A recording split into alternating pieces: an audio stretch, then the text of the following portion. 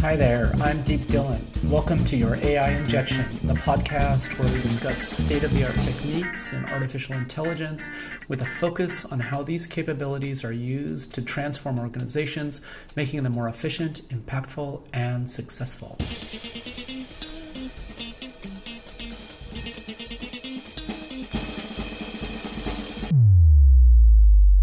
Welcome to this week's episode of your AI Injection. This week we've got Dr. Werner Koepf. Werner worked for a number of years at Amazon and has served as a tech exec and CTO at a number of companies, including Expedia, Ticketmaster, Conversica, and now Karat, a startup bringing some tech savvy to technical interviews. Today we're going to talk about leveraging AI, but from the perspective of a seasoned CTO. Werner, thanks for being our guest on the podcast here.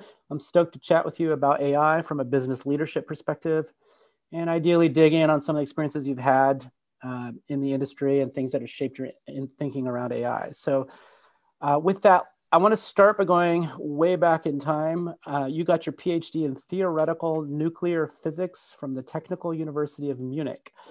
So, what's your elevator pitch for your work back then um, for us non-physicists? You know, tell, tell me, tell me like yeah how did you get into physics? What was the passion? You know and, and what were you actually working on?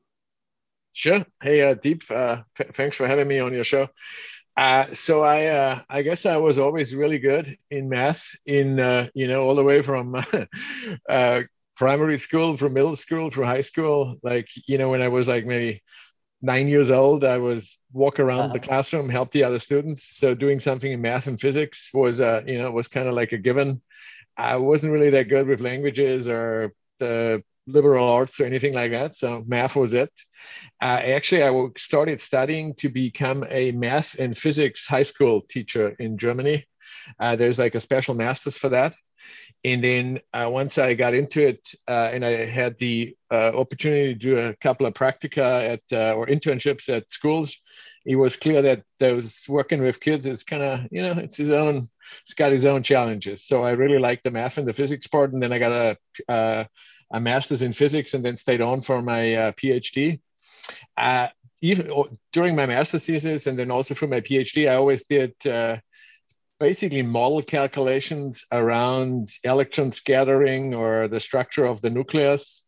And it was always a good combo of doing some stuff on with pencil and paper and then putting it uh, on a computer. Like my master's thesis we were we were the brilliant idea was that we were going to determine some of those like levels that a nucleus has when it rotates and we're going to do that by applying the theory of general relativity and by basically transforming into that system of a rotating nucleus and then uh, from that getting to those to those discrete levels which in in practice meant like literally hundreds of pages of like uh, equations where we try to we basically transform the Lagrangian of a static uh, nucleus into a rotating coordinate system. And there was like hundreds of terms that came up that at the end, almost all of them canceled out.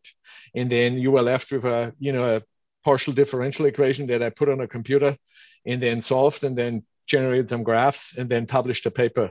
And I realized out of that whole process that part about writing the code and so like having to QA myself and having to verify that you know whatever I'm doing actually made sense and I didn't forget two or somewhere in the denominator or put a minus sign where a plus sign should go.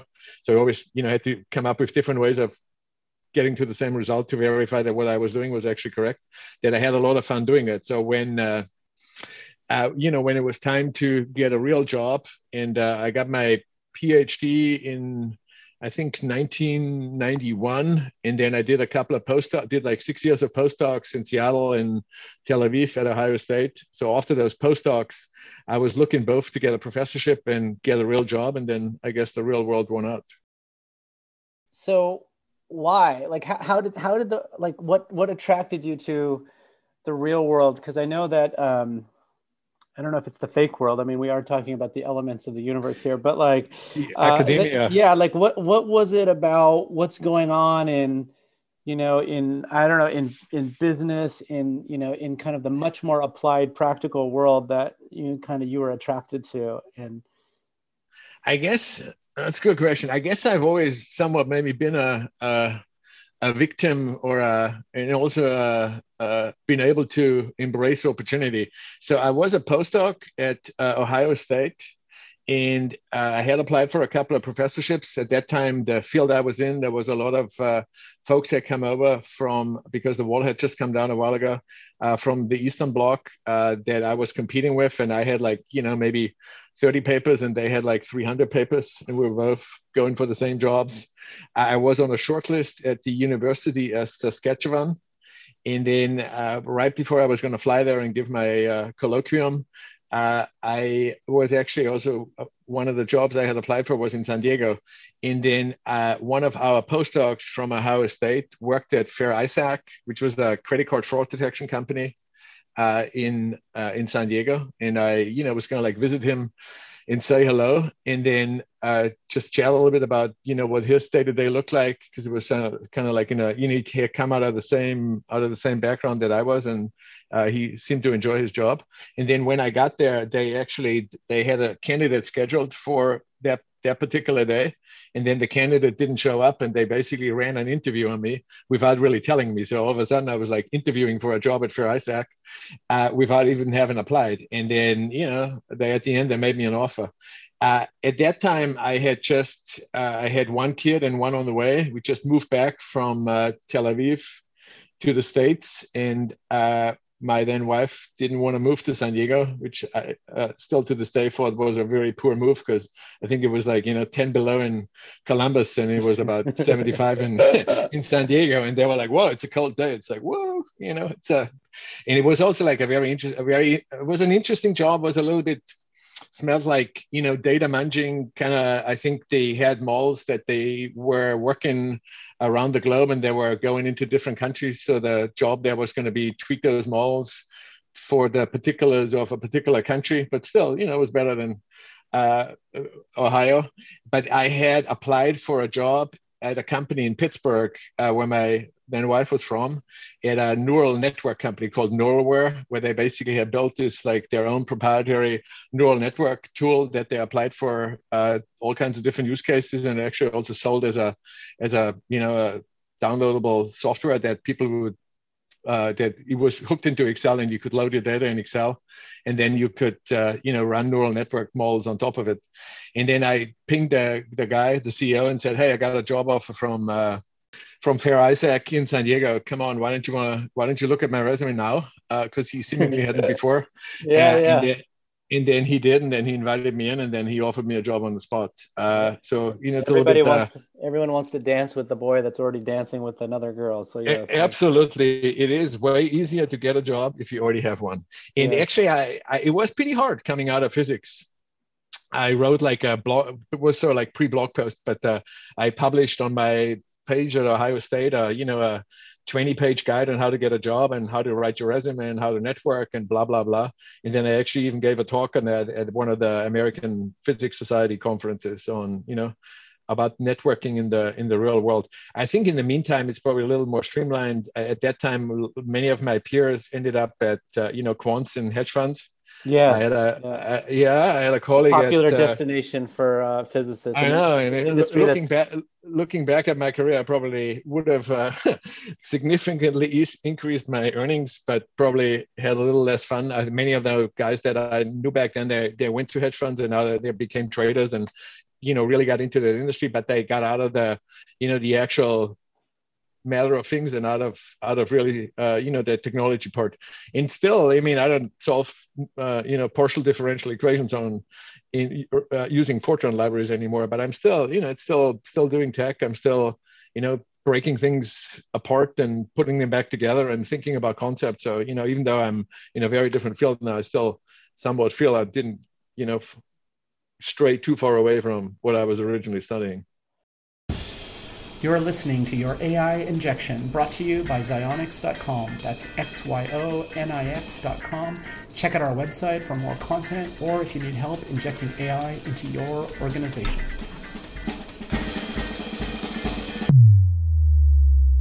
Yeah, I can see that. You know, I mean, I've I've worked with a lot of you know technologists, engineers, and you know machine learning folks over the years, and for some reason, for I, I find the physicists always stand out in their thinking and kind of coming at problems from I don't know unorthodox directions uh, that can be just really insightful. And I, I feel like I don't really grok uh, their thinking patterns. Like how does it you know like so I, I think it's I'm not alone in, in in sort of identifying that you know that that background has something really special to bring to the field. So t- tell me a little bit about the. You mentioned, you know, you you started seeing these neural networks for the first. Like, tell me the first time you saw some machine learning or some AI algorithms that you know maybe you observed some supervised or or even unsupervised learning. You know, with these models, like what went through your head? Was it something that was, you know, exciting? Did a light bulb go off, or was it like, man, this is just you know a, a slightly different algorithm that you know, like like you know, what happened? It definitely was a combo. I think to some degree it's not all that different than you know some of the Monte Carlo simulations or you know big uh, partial differential equation stuff we've been doing. Uh, it was uh, it was clear that in, in actually at NeuralWare, so we built this like I built this uh, ultimately this tool like an inferential sensing tool where uh, you know people who work in refineries would take all kinds of data uh, on their plant and then they would instead of putting a sensor in the chimney they would run my software to predict what the nox emission or whatever was. And then they would get certified by the epa and would move the plant around a little bit and make sure that whatever my algo was predicting was the same as what uh, the actual sensor said. I think that that the, the big difference was it was that data played a much bigger role where in you know just by if you the equations you have or they are all you know they are there's been research that derives them so there really isn't any doubt about them. And then you just basically pretty much straightforward brute force come up with a solution with uh with you know ai and machine learning. It's much more a function of how good your data is uh, on what really comes out of it and really understanding that you know it probably took me i'm sure i didn't have those thoughts way back then but now having seen this for a long for quite a while uh, it's definitely become more and more apparent to me that it is, it is that combo about what uh, you know what what math are you throwing at it? What computing power are you throwing at it? You know what's your algo? What's your hyperparameter optimization? All those things. But ultimately it really comes down of what data do you have? And uh, i think many of the mistakes that are made in this space are related to trying things where you don't, or you know, trying to brute force things where you really don't have the data for. Yeah, I think that's um, that's a super important point. One thing before we kind of really dig into that topic, because I think that's a that's a good one to dig into.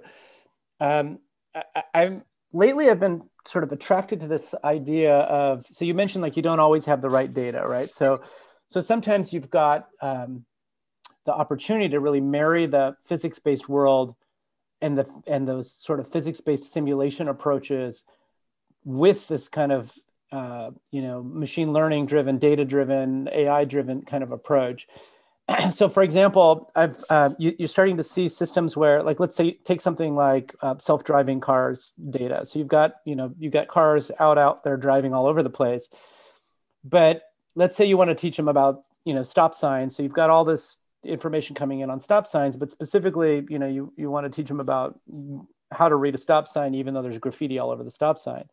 I mean, you can imagine just coming up with a straightforward physics-based simulation of graffiti and generating a ton of ground truth data. Um, you know, this is sort of, you know, one thing we did something similar once we were, we were analyzing a lot of in-body surgery data.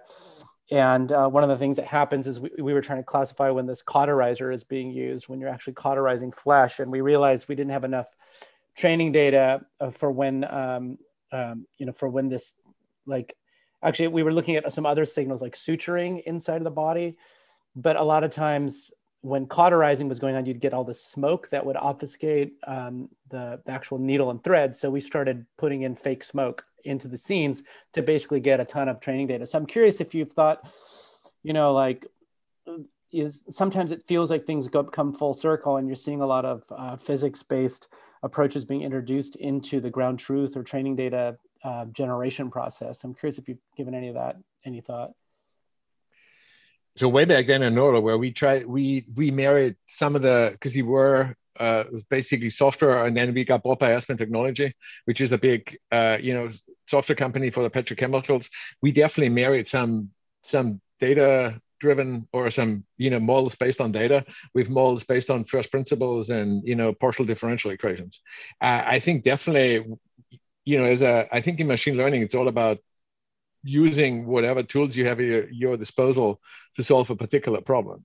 And uh, you know it's like why would i why would i have a model have a model do all the hard work to relearn you know what i already know. And so if i can input what i already know like the fact that you know those two those two variables are related by a you know by an equation where you know the second one is one over the other times 450 plus 12 I, why would i spend all the energy to you know build a model that really, really comes up with that? I think that the trick in designing some of those systems then is how do you actually you know put the two together where you know it's not really not necessarily always straightforward right yeah, so I mean, it's, you could you could you could clearly you could generate if you know what the what the physical relationships are, you could basically generate data that like encapsulates that, right? Yeah, yeah, and it's it. it I mean, it's definitely. I mean, I've been in these scenarios where you're introducing this generated data, and you just can't help but feel kind of I don't know, goofy about it because because it's it's data that can be represented way more compactly, but just due to our understanding of how to train these models, we end up blowing it up into a bajillion examples the whole the whole thing sort of feels odd, but in the end, it achieves that that kind of goal. Um, so tell me tell me a little bit. You I know you were at Amazon during maybe not the early early days, but you know certainly earlier than today. What was what was your transition into Amazon like, and what kinds of you know I, uh, I'm I, what kinds of like data data science machine learning stuff were you sort of exposed to or thinking about back in those days at amazon i was more uh, so I came in as I was was called a two pizza team leader. Mm-hmm. So uh, it was a, a phrase that actually uh, Rick Dalzell, who had come into Amazon, he was the CIO, I think, of Walmart, uh, and he like coined that phrase. And it was those teams that were very like very independent of each other, uh, that had a very that had a clear mission. We were all supposed to have a fitness function, uh, which was like a one-dimensional chart uh, that showed how well my team was doing. And then you would spend a good bit of time iterating on what that fitness function was. You would meet with Jeff and his team to you know debate what the fitness function was. Uh, so I owned basically gifting. So it was kind of like a regex, anything that had gift in the name. On the Amazon retail side, I owned all the way from the baby and wedding registries and the wish list, uh, the gift wrap, uh, for a while i owned gift certificates which is like a pretty big business. I think we did the math at some point. I think we were like the four or fifth largest store at amazon at that point. So we had like you know a couple hundred million a year even back then flowing from my features with a you know a team of team of like 15 engineers.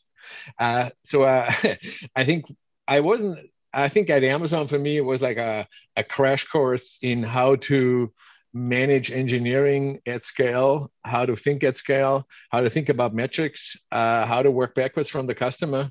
Uh, we used machine learning a little bit. Uh, we did some campaigns uh, where we would, you know, basically uh, uh, optimize, show things on the on the Amazon homepage that were on your wish list, or you know, other things related to gifting. But it was much more, uh, you know, a consumer of that. It, it, was more, it wasn't so much about machine learning. It was more about, you know, retail and, and execution there.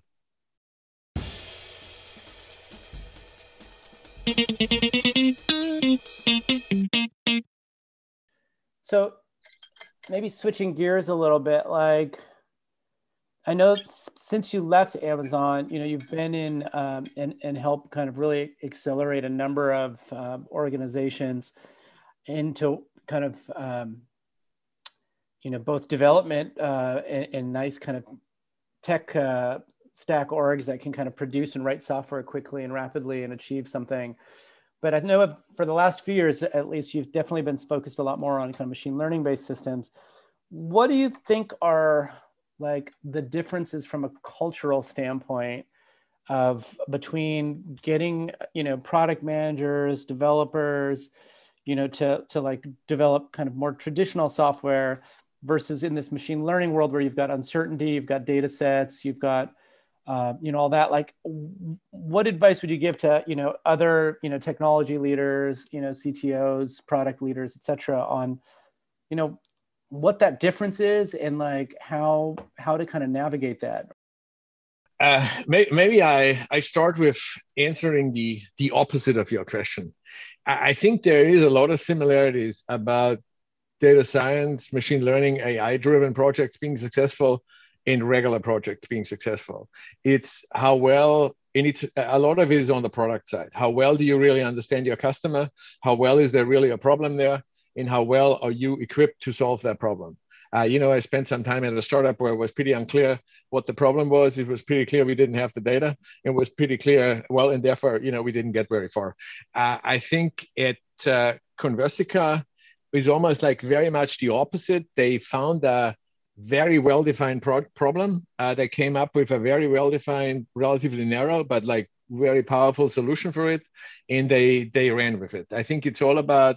I mean, in general, I think in software uh, and I haven't always I haven't switched over into product. I'm always dabbled a little bit in between. Either right now I own product as well, temporarily. Uh, back at my previous companies, I think my one of my most you know intense interactions with was with our head of product. I think for an engineering leader, what the team is working on is more important than anything else. I think if they're working on the right stuff, you can always make it work. I think so that's i think where the where the similarities are it's just about good product management figuring out what the problem is prioritizing right you know narrowing it down mvp getting something out getting feedback working backwards from the customer and good things are going to happen. The the the additional dimension with machine learning comes in that there is that i think with regular software if you build a you know another payment system it, there isn't really any unknowns on how what you know what the so like what the equations are that tie all that together. People are going to put money in their wallet and they're going to use your thing to pay at a store and you're going to have to sign up the stores. You know there's like it's all known. Uh, on the ai side um, uh, my experience has been like when you talk to like you know the ceo or you talk to people on the board or you talk to the product people they have no idea to distinguish between what is totally trivial uh, what is doable with a good bit of work and it was completely impossible and it's and so it's almost because there is this so that makes product that makes figuring out what to do and even like an order of magnitude harder. Because now you have to either you know if you tell them hey i don't think we can do that well did they really hear that? Or do they just think you're not working hard enough? Or is it when you tell them well we can't do that because we have we don't have that kind of data well okay now it's about getting that data so i think it just becomes a lot more uh, it's almost like there's a additional degrees of freedom that in regular software you don't have to worry about. And it's the hey it's that you know how good do i do i have the right data? And can i actually you know can i actually solve the problem i have? While in most predictable straightforward algorithmic you know kind of like the regular software will do it's more you know that typically is not known.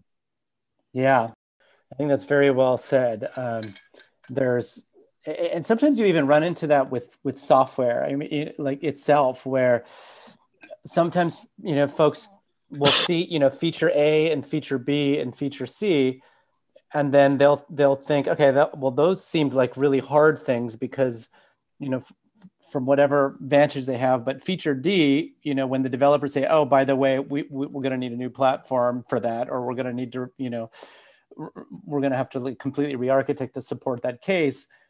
Sometimes you have that a, a, similar kind of thing where they're like what? I don't i don't understand. Like why, why would that be right. the case? And so yeah it's it's definitely one of the challenges. So one uh, question i wanted to ask you is like do you see some pitfalls for organizations that are trying to leverage ai um, that they should kind of avoid? Sure I'm a huge fan of doing prototypes and doing proofs of concept. So before uh, in I think in AI powered software, I, f- I think it's even more important than in in in regular software. Like in is part of the Scrum process, there's what's called a spike, which is basically when the team they don't really know how much work it's going to be and how to do it. So they spend some time where the outcome really is knowing how hard it is and how to do it. And I think in AI driven projects, that is a much, much bigger margin. Like you could be, you could be, you could be two years away from really having a product. So what you want to do to like de-risk that is you want to build prototypes, you want to like work your way there. And you want to sort of like somewhat have a, have an idea where you want to go, and based on that idea where you want to go, you want to decompose it in small steps that allow you to get there. And every one of those steps is basically is proving to yourself that that is still that's still possible. Now, ideally, while you do that, you get it out, you get some feedback from customers, but you got to look. I think you have to much more look at it as a you know as a I know it's funny to use that phrase, is a learning journey in it where I know ultimately maybe you apply deep learning and you train a neural network that's got a billion parameters, but ultimately it's also you are also learning what you can do with the data that you have, what your customers are going to do with the product you gave them. Maybe you get better data and now your product gets better. So I think it's the it's that understanding that this is much more about you know figuring things out than shipping something if you've already figured out.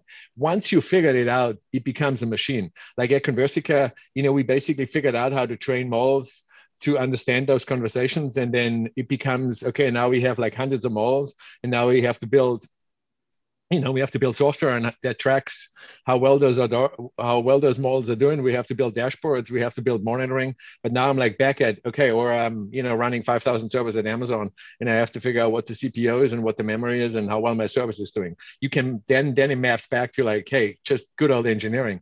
But i think on the on the when conceiving a new product i think you gotta you gotta understand that and have that modesty that a lot of the time you really don't know what you're doing. And it's about figuring it out, which is part of the journey.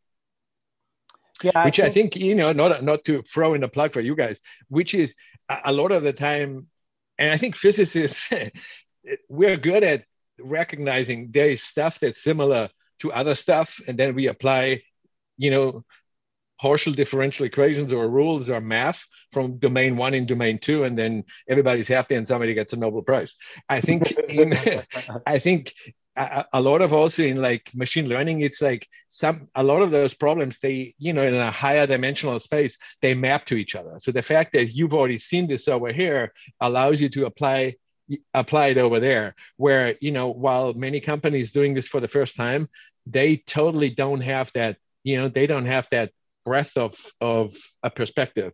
And i think that's very a very powerful tool yeah, I mean that's something that you know I, I know we, we do a lot of we see a lot of different projects because we're working with you know with a number of teams and you definitely find you know you you find these things working in you know one domain really well and then they can you you just see that pattern you can lift it like one I've been uh, you know just kind of reading about recently is uh, I'm, I'm sure you're familiar with you know the power of these you know these generative uh, models, particularly in text. They've gotten a lot of popularity where we, right. we train these these massive models like GPT-3 to basically you know take all of the world's kind of text information, predict the next word, predicts the next sequence of words, the next sentence, things like that, and then with that relatively straightforward kind of thing. Um, it turns out that these uh, machines are, are marvels at just generating you know text and then you can kind of flip it on its head and like with something like gpt-3 you can now you know in inputs you, you put in an example in english the translation in french example in english translation in french all of a sudden it can translate a whole language um, the same model that you can give it you know the opening sentences you know to uh, alice in wonderland and it'll start writing in that style. And it's kind of it's kind of wild. But to your to your point about seeing things in different domains you know lately we've been looking at at music for example and some of the systems coming out of openai where folks are able to take that same approach that's worked so well in in text but they're doing it in music. And now they're able to you know kind of in a you know with unfortunately not the fidelity level um, that's that is not quite there but you're able to like get something to like finish a song. So you start with like nirvana lyrics or something or nirvana the actual tune of something and it can just author an entire piece which is kind of mind-blowing if you if you if, if you think about it. Um, one question i had for you is like you know we've had this gigantic kind of demarcation in the you know in the machine learning world. It's kind of like pre and post deep learning if you will Perhaps you're not sure whether AI can really transform your business. Maybe you don't know what it means to inject AI into your business. Maybe you need some help actually building models. Check us out at xyonix.com. That's X Y O N I X.com. Maybe we can help. I'm curious from a from a CTO slash business practitioner vantage.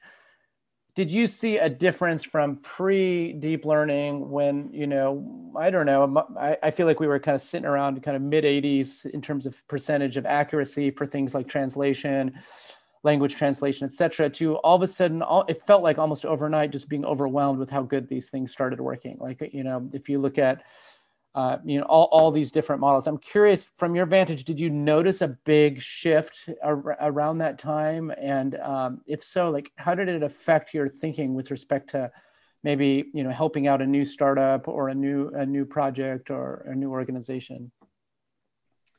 Yeah it's a so i you know reminisce with some of my uh, you know physics colleagues on hey you know we did like I mean, I literally built neural network models back in the 90s, but uh, clearly it wasn't deep learning.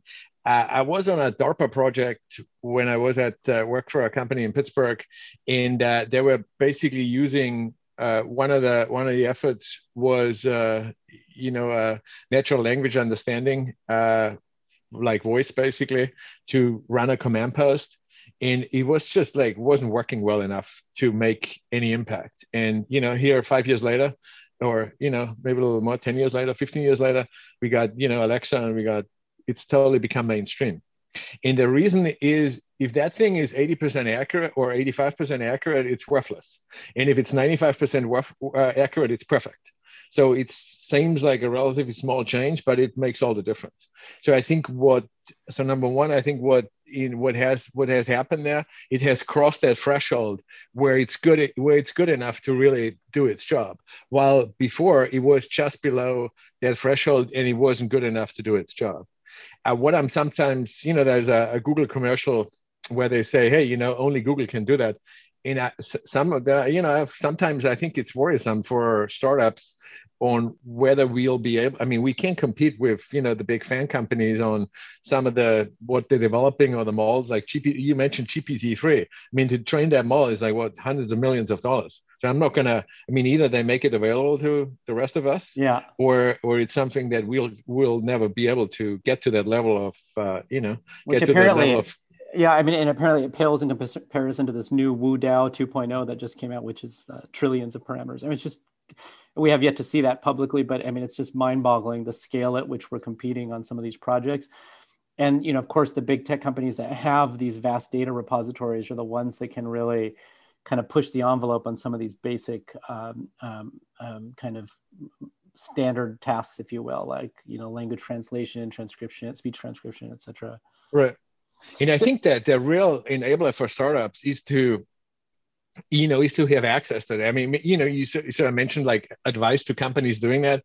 Like, if you are building, you know, if you're building your own model, if you're building your own algorithms, or you're writing like proprietary software rather than using some of the libraries or using some of the open source stuff, you are doing. I mean, unless you're one of the you know, unless you're one of the really main big, uh, you know, high tech tech companies that have a reason to do that, you're definitely doing something wrong. Whatever your problem is, there is definitely an open source algo out there that's all set already. Most likely, there is already trainings that are out there that could help you a lot. So, you know, please do it. Do as little as possible on your own, and reuse as much as you know what's already out there. Is what.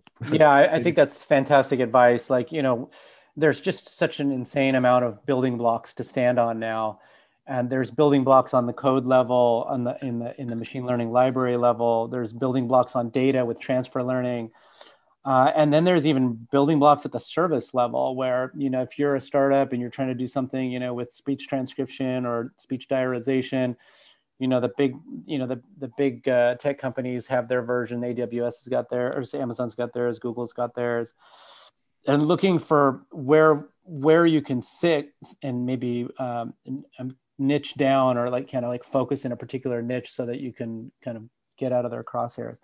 One question, one thing you mentioned that I, I kind of want to go back to is you mentioned like during the kind of deep learning transition, um, you know, or like just these, this this kind of translation transition from when we used to talk about machine learning and not be able to use like you know AI, you know, with a straight face. There was this transition where suddenly, like we went from, you know, you mentioned 85 to 95 percent, and, and and things became feasible that weren't a lot of times though we do have um, we like even 95% could be too little and going back to the organizational question, like how do you think about communicating with like, you know, product managers, for example, when you start saying like, hey, this thing works, you know, 92% of the time, 93% of the time, but it fails. Like, is there a conversation that you find yourself having regularly around like how to, for example, hide the errors or or your expectations are out of whack, like we're never going to get to 99%, um, that sort of thing? No, definitely. I, I, remember, you know, conversations with my head of uh, customer service at Conversica, and you know, he would like quote uh, a response where you know a, a, customer had emailed in, and then how we responded and how the client had witnessed that and how wrong that was. And I said, well, you know, that's one out of 10,000. So, you know, 99.9%. Uh, and he was like, well, but I don't care. And they're upset.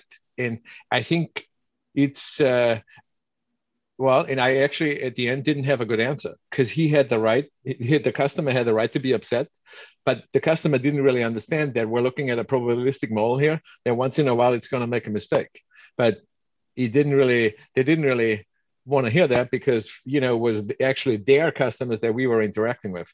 I think i would say the best way out of that is sort of is either like in you know in software there's like uh, strong consistency and eventual consistency.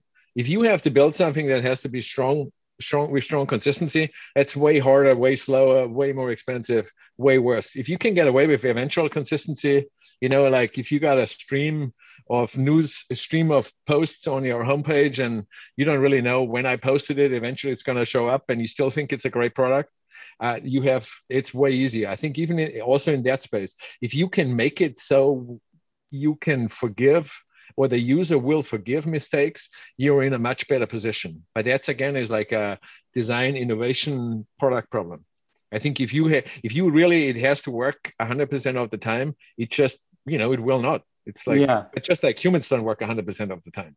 So it's but it's kind of like either building it in or understanding that and kind of like designing with that in mind from the from the from the ground up. Yeah i think that's a you know that's a really good point. point. One of the things that i talk to uh, you know folks about a lot is um, there are error rates and then there are perceived error rates. And so to the extent that you can decrease the perceived error rates you know the better. So for example you know you've got you've got a thing that humans look at. You don't have to lead with a random sample of whatever your machine learning thing is doing. You can lead with the very high confidence cases and then you can tuck the other ones underneath them more or something you know you can like hide them and you see that happening all the time out there. Uh, but sometimes it's you know it's um, it's it's a challenge to like you know sort of navigate the inevitable errors of machine learning and i, I find that like that's kind of what differentiates the great um, organizations uh, at machine learning from the sort of ones who are new to it or aspiring is that the great ones are able to do kind of two things. One, they're able to like mitigate the pers- you know the, the, the efficacy, and at the same time, they're able to keep pushing and move that statistical batch, uh, you know, that that floor of efficacy. So the probability that a customer sees a high value case and calls up a salesperson starts to decrease over time. Right. So cool. Right? One one uh, one question I had for you is like, I mean, maybe just wh- when have you seen this all working perfectly, like in in like harmony? Maybe like or or or what would you describe as like you know maybe the perfect team makeup and project slash organizational um, composition where machine learning is happening data is being gathered the product is improving customers are being happier like I don't know what what what does that whole worldview look like to you? I'd like to just kind of characterize that. In my actual background, or in my perceived imaginary? Uh, Maybe both. A, Maybe a bit a, of both. a perfect world. so I think, uh, well, so I think at Karat right now we we have a strong, good, pro- we have great product market fit. Uh, we're in the fortunate position that uh, it works with or without machine learning and we're using now machine learning to improve the product to help with the alignment to help with the alignment like basically how we how we set those levels on when somebody passes or fails uh, So we have a separate data science team. Uh, they have, you know, they have their own roadmap. They are kind of like focused on more R and D activities. So I think, so that is, I think, a good model where you realize you distinguish between, hey, I'm doing R and D, where the payoff is a little further out, to I'm building it into the product. I have another, you know, way back then at Expedia, we built uh, built a new hotel sort uh, took a while to get that out the door. And originally, we thought it was just about sorting hotels the right way. It turned out uh, that we once that we got that to work, Expedia used that to have hoteliers bid on their sort position. So we would basically simply factor in on how much margin they were giving us, and based on where how much margin they were giving us, the hotel would move up or down. Uh, not sort of like ignoring customers' preferences because if you move it up and nobody clicks on it, nobody's happy anyway. So it was kind of like us being able. So, but you could only launch that product if you had an algorithm that would sort the right way such that you could actually bid on it. So it's I think it's sometimes I love those like multi plays where you build something and then once you have it working, you all of a sudden have a new play that you could make on top of that first play. Uh, so that was a good example of that. Uh, I think I convert, and then I think sometimes what I what, I'm a, one of my catchphrases from way back then is like, "We get that for free." Uh, so frequently, I'm not in a position where I get stuff for free, but sometimes I am. So if you build a platform or you build something that does something, and then when you want to extend it, it kind of like is already there. You know, I think there's examples I think we all have where you know that that has worked out. So I think whether it's just regular software or or the the domain we're in, if you have if you build something that you know you can extend to something that the business wants to do without really a lot of work, that is a super powerful paradigm. And uh, you know I think that's kind of like all, always we, something we should strive for. Fantastic. I'm going to ask you one uh, final question. No AI interview is complete without it. Um, the singularity, Terminator prophecies, your general AI vision for the future. Like, where is all this stuff going in the long arc? You know, in the in the physicist timeline. Um, like, where where are we headed? Right. Uh, you know, I think it was in the early uh, 20th century where we had uh, physicists were under the impression that we had discovered everything and uh, it was going to be a real bore for you know going forward. And then there was quantum mechanics and uh, and einstein and all kinds of new things. So i think humans are really really really bad at those predictions. Um, so number one that. And number two we're so far well so number one we're so far away from the actual you know from the actual if you do look at what what would require or something like that uh, to happen. And then we also another way of being really wrong at predicting things is ignoring the changes that are going to happen based on the things that just happened.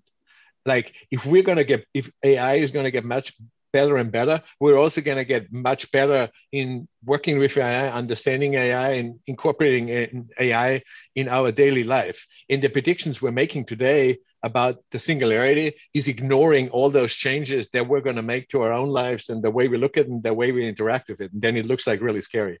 So, long story short, I, I don't think anybody has to worry about that. all right. Fantastic. That's all for this episode. Uh, as always, uh, to our audience, thanks so much for uh, for for sticking around and, and learning about um, you know what a great CTO like Werner um, uh, uh, thinks about how to bring AI into your organization. And Werner, thanks a ton for for chatting with me. Um, that's all for your AI injection.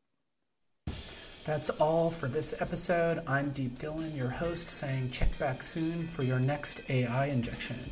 In the meantime, if you need help injecting AI into your business, reach out to us at xyonix.com. That's X Y O N I X.com whether it's text, audio, video, or other business data, we help all kinds of organizations like yours automatically find and operationalize transformative insights.